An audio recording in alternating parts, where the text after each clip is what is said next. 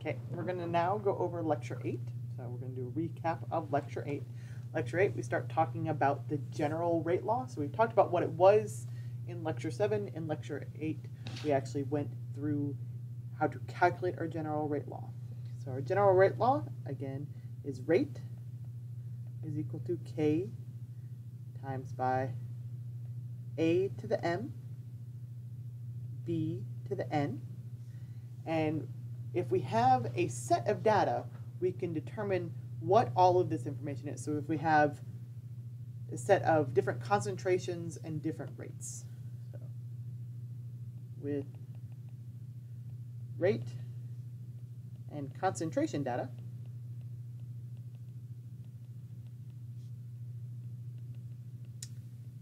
we can determine our general rate law.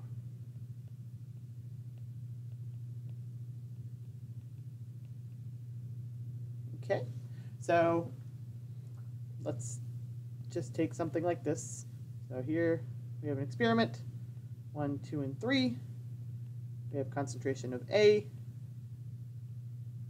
concentration of B, and then the subsequent rate. I'm just going to go one, two, one, one, one, two, one times 10 to the negative 2, 2 times 10 to the negative 2, 2 times 10 to the negative 2. So just some made up breakdown. So let's look at what we do in order to determine our M, our N, and then our uh, K value. So for our M value, so M, we use two experiments where the concentration of A changes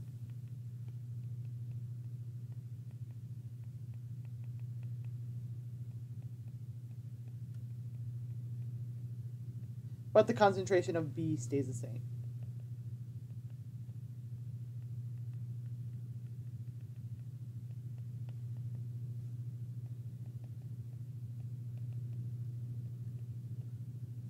So that would be experiments 1 and 2. Okay? Experiments 1 and 2, we change A from 1 to 2, but B stays the same. So to solve for our m, we do x to the m equals y, where x is equal to the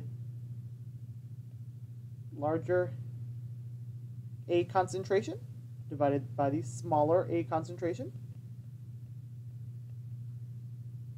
And then y is equal to the larger A concentration rate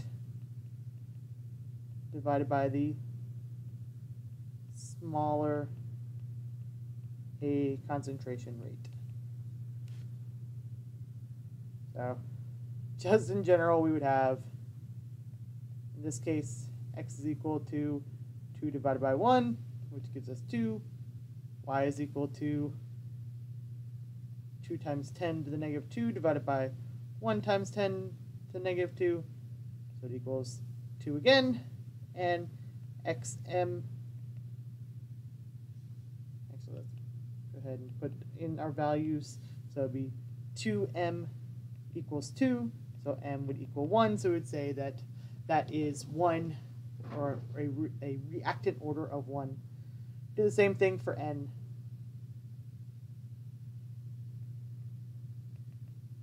But now we just have x to the n equals y. So we would do x equals 2 divided by 1, y equals 2 times 10 to the negative 2, Let me erase all of that. I'm going to do that in a different color. Let's do this in a different color. So now we're looking at experiments 1 and 3. A is staying the same, but B is doubling. So our x here, so to solve for n, we have x equals 2 divided by 1 y is equal to 2 times 10 to the negative 2 divided by 1 times 10 to the negative 2 giving us 2. 2n equals 2, so n is equal to 2, or sorry, equal to 1. So both of them are, uh, so m equals 1, n equals 1, m plus n equals 2. So they are first order reactants.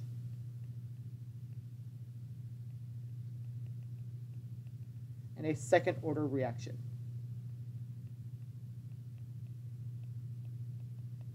We want to solve for k,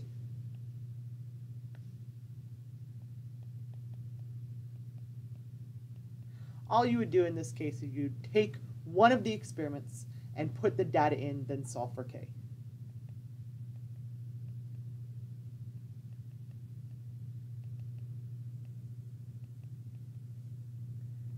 into the rate law. And solve for k.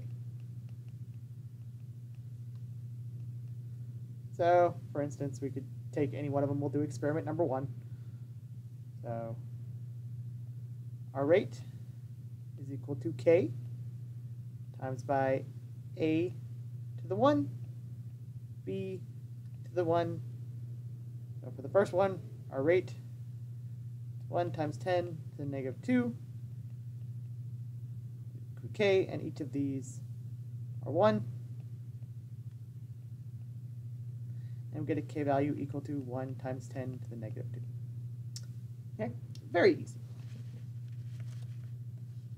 Some notes about k. k, our rate constant. The units are based on the reaction order. If we have a first order, actually let me start with zero order. We have a zero order, K equals molarity divided by seconds. If we have a first order,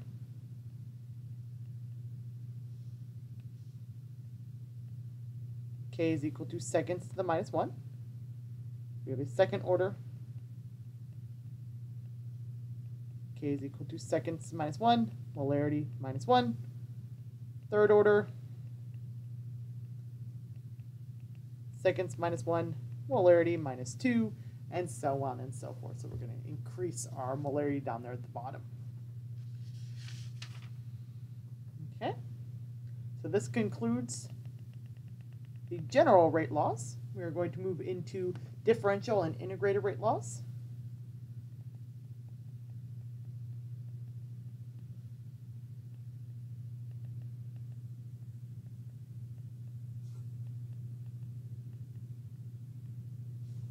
So we're going to look at first order and second order in this review video um, as that's what we went over in class. So for our first order process, oh, and, and half-lives. So let's look at all of those. So for our first order process,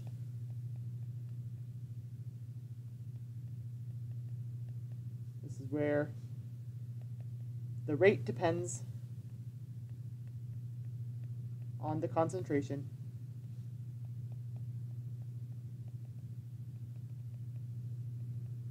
of one reactant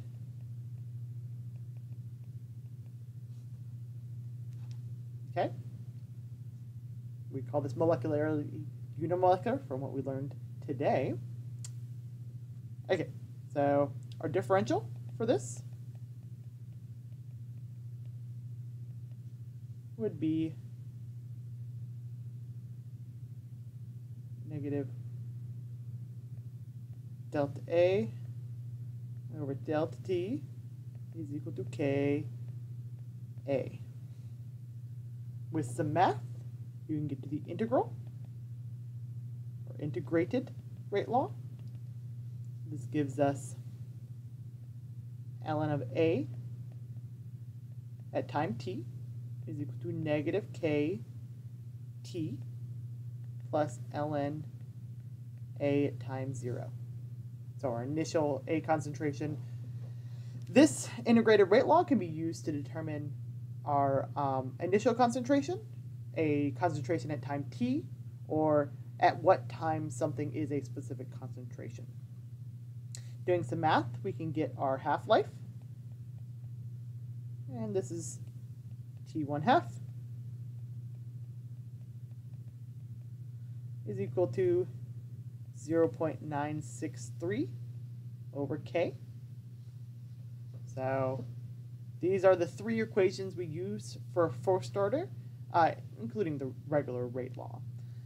Um, the half-life for uh, your first order process does not depend on your initial concentration. It's only one.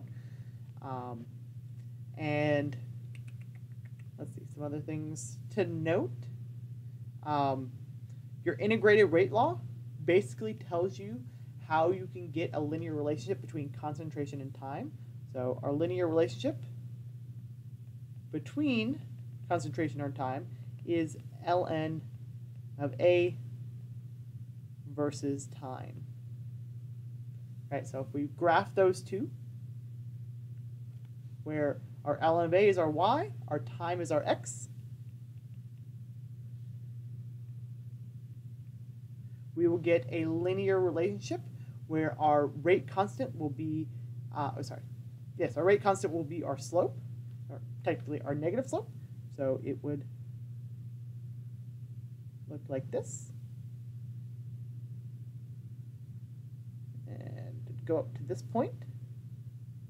So the slope equals negative k. And our y-intercept is equal to ln a naught. Okay. Next, we're going to look at a second order process.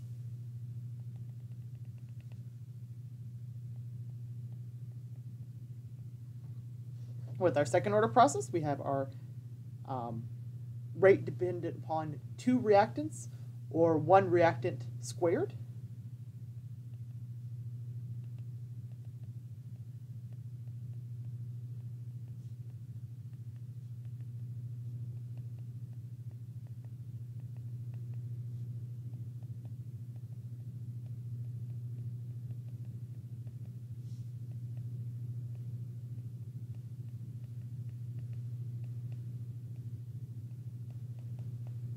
Okay. With our second order process, we're only going to look at the integrated rate law for a, um, a single atom type or single molecule type. So only look at the integrated rate law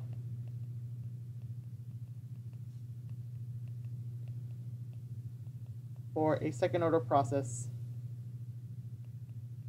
or second order reaction that is second order in one reactant. So one thing will be second order because um, the math just gets too complicated and convoluted for this particular class. So we're going to look at the differential rate law for second order. That is negative delta A over delta T is equal to Ka squared. Then we have our integrated rate law as 1 over A at time t is equal to our rate constant times by time plus 1 over A at uh, time 0, so our initial A concentration. Our half-life for a second order process.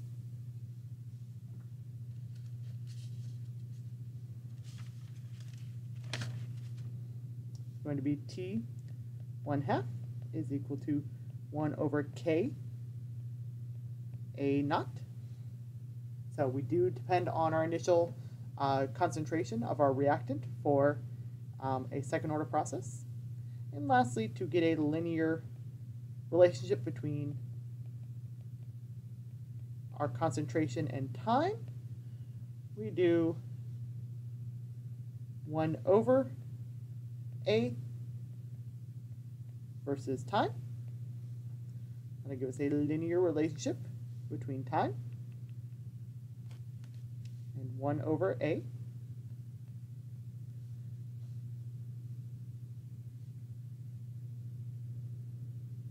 Like that. Where our slope is equal to K and our y-intercept is equal to 1 over our initial A concentration. That wraps up lecture number 8. If you guys have any questions about that, please do not hesitate to let me know.